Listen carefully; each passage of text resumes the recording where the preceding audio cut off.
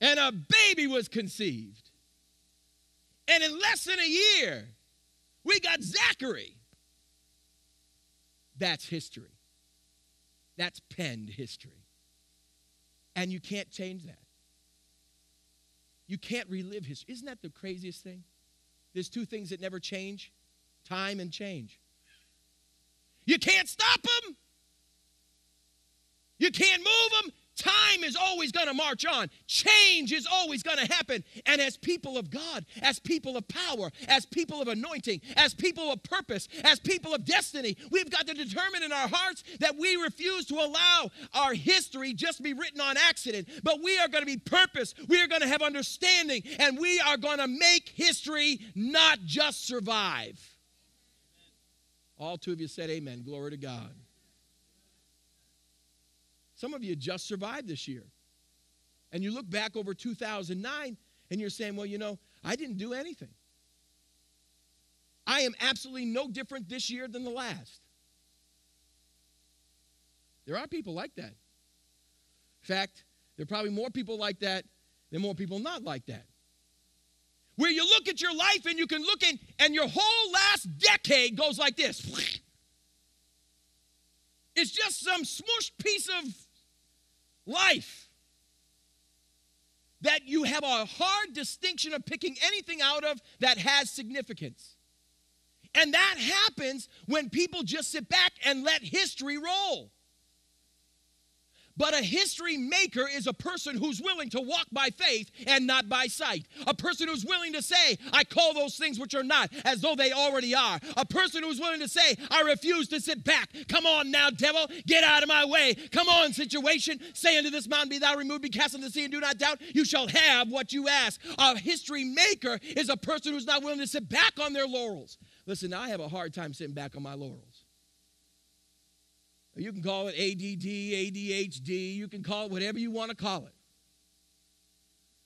Everybody likes to call those things bad. I hate to tell you, but most of the people that have been makers of big things are people that they have declared that have all these problems.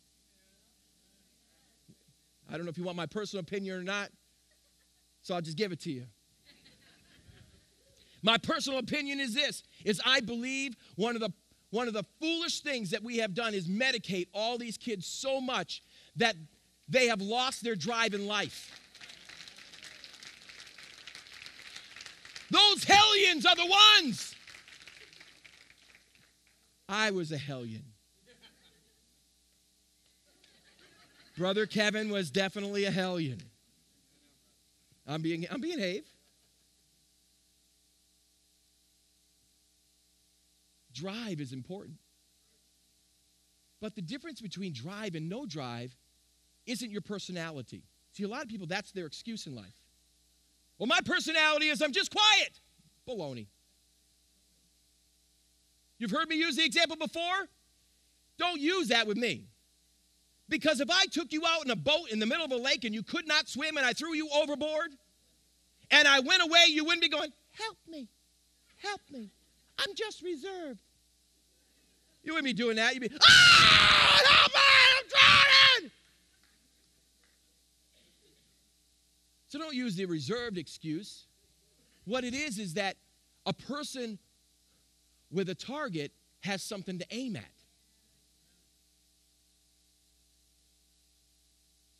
A person who has a destination has a place to drive to. And in Christianity, what happens a lot of times is, well, I'm going to heaven now, everything's good. Que sera, sera. Whatever will be, will be. I'm no Doris Day, you can see, but que sera, sera.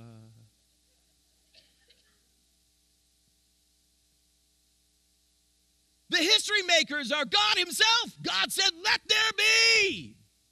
He had to make a determination to do something.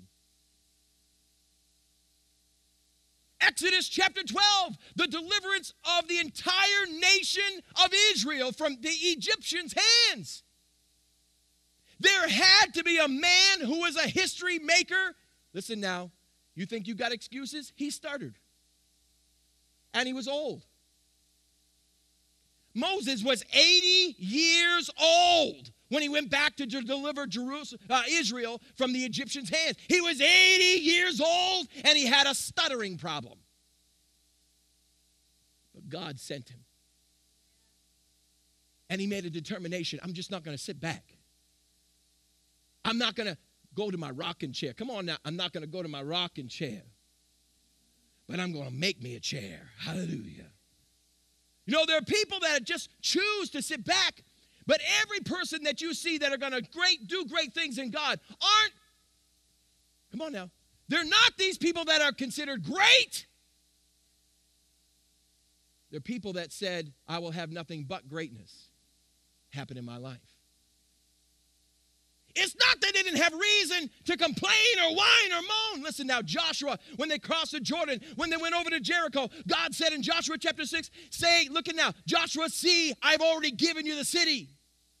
Well, when God said that, the city was still high. The walls were so wide you could have two chariots run across them at the same exact time. The men up on the walls were mocking the children of Israel. There was no way to get in, there was no way to penetrate. But God said, Look, I've already given you the city. And he determined in his heart to obey God and to walk like God told him to walk around the city. And on the last day, the trumpet sounded, and man, the walls came a tumbling down. Why? Because somebody decided not that they were great, but they chose to be great. You and I can choose to be great or to just survive. That's your choice. That's not your wife. That's not your husband's problem.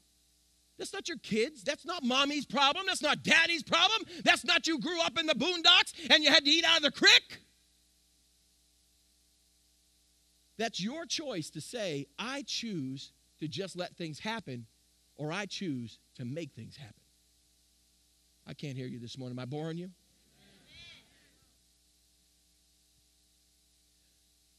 The Gospels, I love this part. Uh, John chapter 21, verse 24 and 25.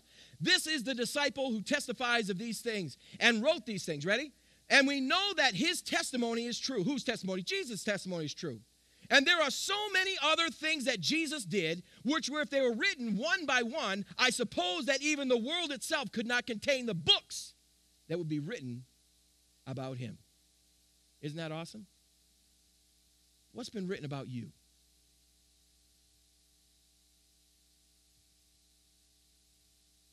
If your family had to sit down and write your history, what would your children write for your historical events?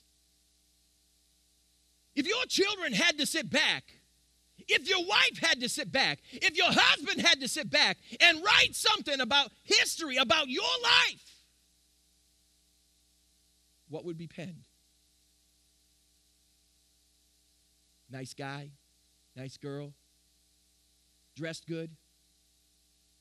Always smelled good. Or would they say, powerful man or woman of God? I learned how to pray by hearing my mom and my dad pray. I learned that God's kingdom was more important than the things of this world because I watched my mom and dad serve God with all of their heart, their mind, their body, soul, and their strength. I, I know my mom was changed because I watched Jesus come into her life and transform her by the power of God. I watched my dad get healed of a heart problem where God did a supernatural miracle. That woman two weeks ago, her son was here last week. I don't know if he's here this morning or not, but was here last week and said that he walked into the kitchen and saw his ma standing at the kitchen. First time in five years, God did a miracle. He can write that. I saw ma get a miracle from God Himself. There's no way anybody could fight this lie about this is what it is. What is your history? If you had to sit down, one of the hardest things to do, you ready? Is to be honest with yourself. Um, Is such a lonely world. That's all I know. That's all I know. What do you mean by that? One of the hardest things to do is to honest, be honest with ourselves. The Bible says that judge not lest you be. One of the greatest places that you and I can start judging is who.